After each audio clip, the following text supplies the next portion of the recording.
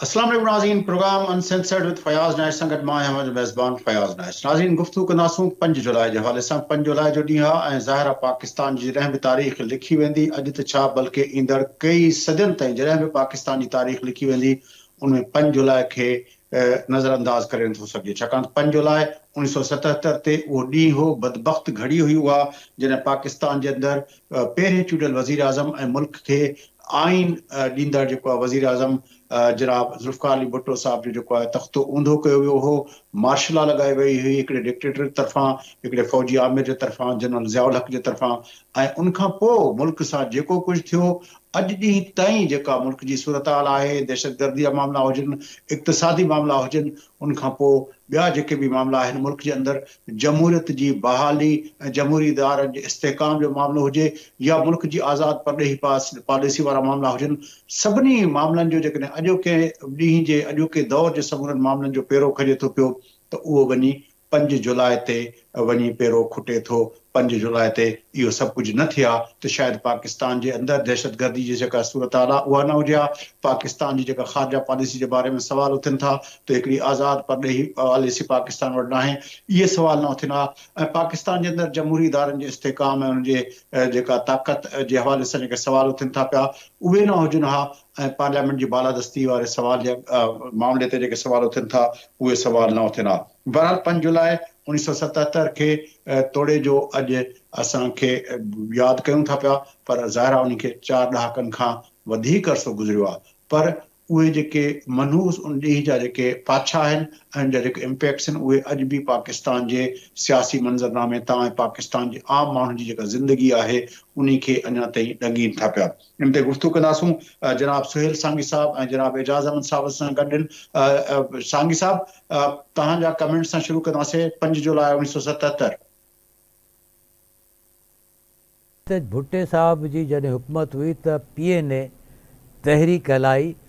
ای ان تحری جو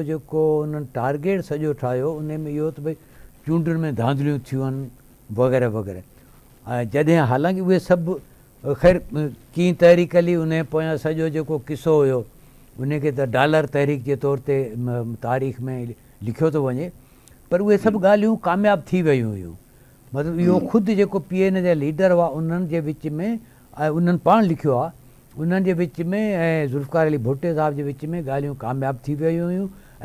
وہ کابد کو سو اوچتو زیال لق جنرل ضیا لق و ٹپی پی ان سجے ان کے سیاسی پارٹن کے سیاسی دُرن کے انوب بھی کانس ٹھو نہ صرف ان کے دھیکے چڑھے بلکہ ملک سجے سیاسی نظام کے ان کے پوت دھکے چڑھو ایو سیولیئن پاور ہو ان کي ايترو پوءِ تي ڌڪيو ۽ پوءِ لڳاتار جيڪي به سلسلو رهيو اهو اڃا تائين اسين اهو لوڙيندا ورتون. ته اصل ۾ اوڏي مهل اهي ڳالهيون ختم ٿي چڪيون هيون. قصو سڄو نبڙجي ويو پر ڇاڪاڻ جو زيال کي مارشل لڳائڻو هيو. ته ڇاڪاڻ جو ملڪ جي سڄي جيڪا اڪانمي هئي جيڪا پاليٽڪس هئي اها جيڪا آهي ته چند مکسوس گروهه هڪڙي گروهه کي ان کي چينج ڪري تبديل ڪرڻي. تنهن جي ڪري مارشل لڳائي ۽ زلفڪار علي ڀٽي چونڊيل حڪومت کي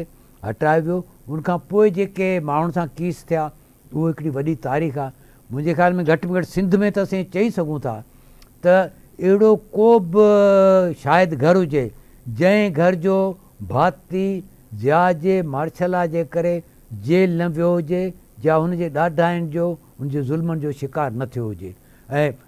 پاکستان کو جب ہم یاد کر رہے ہیں نائک صاحب، دو تین نکات ہیں۔ ایک تو یہ ہے کہ ہم نے اب تک سبق نہیں سیکھا۔ انیس سو ستتر میں بھی جو لوگ الیکشن ہار گئے تھے، اور وہ بعد ازاں تاریخ نے ثابت بھی کیا کہ ان کی آٹھ یا دس سیٹوں سے زیادہ کبھی سیٹیں نہیں ہوتی تھیں۔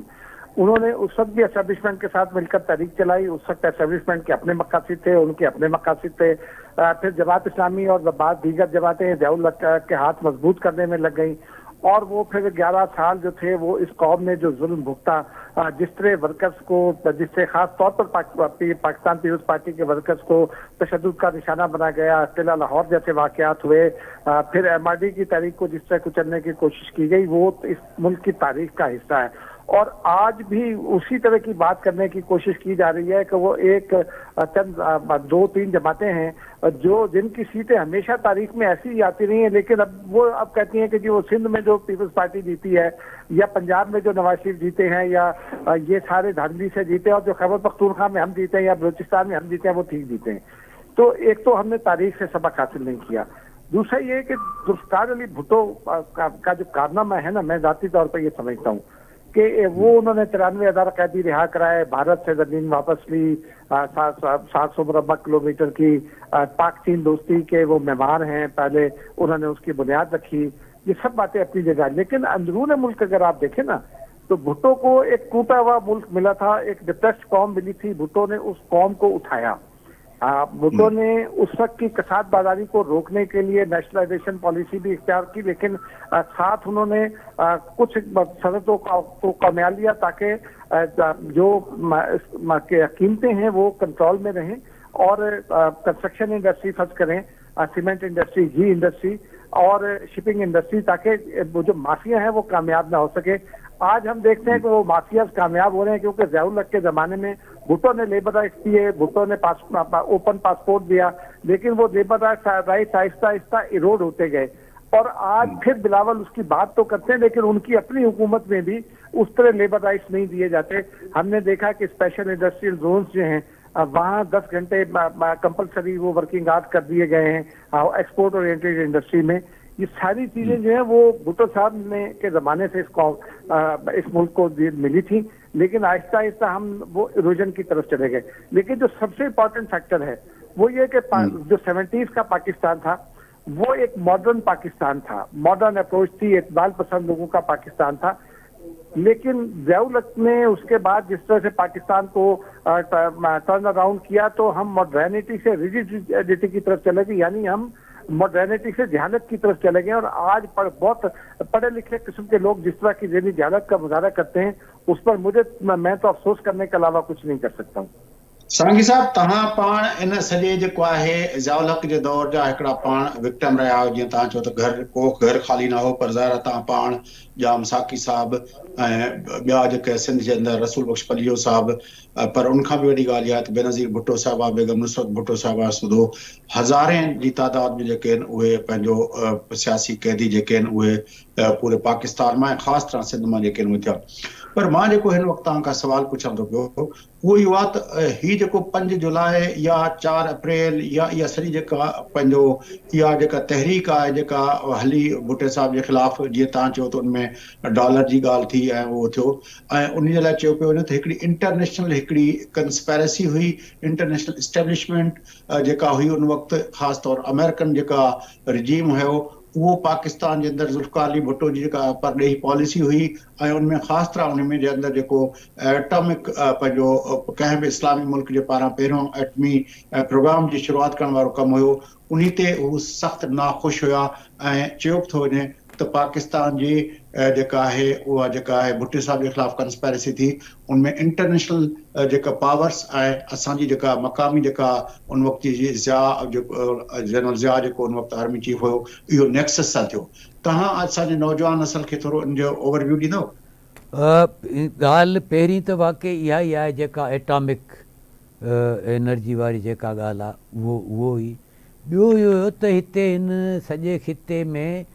پنهنجي هن آمريڪا کي اهو جيڪو افوان جيڪو اشو ٿيو سڄو ان ۾ هڪڙو ايڪشن کڻڻو هو. ته هن آمريڪا ان سڄي کتي کي ڪجهه اهڙي نموني سان بڻائڻ پيو چاهي جنهن ۾ هن جي هڪڙي باقائدي سان هڪڙي وڏي جنهن کي پاڻ سنڌي ۾ جماداري هجي. ٻئي نمبر تي جيڪا ڳالهه اهو هئي ته ڀٽي صاحب ان وقت جيڪو اسان جا جيڪي ارب ڪنٽريز آهن مسلم دنيا اهي ڪي ايڏا انهن وٽ ڪي ڇا چئجي ته ڪي مهارتون انسے ذہنی طور وہ سب نہ ہو بٹے صاحب جو سو ایکڑے اسلامی مسلم لیڈر کے طور ان تور آئے جی میں ان کے سب سعودی عرب والا یہ شام بھی لبنا لبیا یہ اے سب مطلب یہ تو سجھوں ان کے کن پہ شام میں لبیا سے بٹے صاحب اتنے جو حافظ اسد قذافی سات ذاتی طرح سے مجھے سٹھی دوستی جن چاہی تو وہ فیکٹرو ٹھو جو فیکٹر وہ تو ملک کے اندر بٹے کے ڈین میں سجو یہ پہ تھے ملک جو ملک کے اندر ایکڑی سوشل چینج جائے باقاعدے سے اچے ایکڑی سوشل ویلفیئر اسٹیٹ ماملوں وجے الامسٹ ان خیال ہے تو پاکستان صرف بٹے کے ڈین میں سوشل ويلفيئر اسٽيٽ ٽائيپ جو رهيو آهي جنهن ۾ سوشل سيڪٽر تي وڌيڪ پئسو خرچ ٿيو آهي. جڏهن ته ان کان پوءِ جيڪو آهي اهو هميشه جيڪو آهي اهو ڊفينس ان جي طور تي اهو رهيو آهي. ڏسو نه ڀٽي جي ڏينهن ۾ هڪڙي ڳالهه اها به ٿي ته ڀئي جيڪو هيلٿ ايجوڪيشن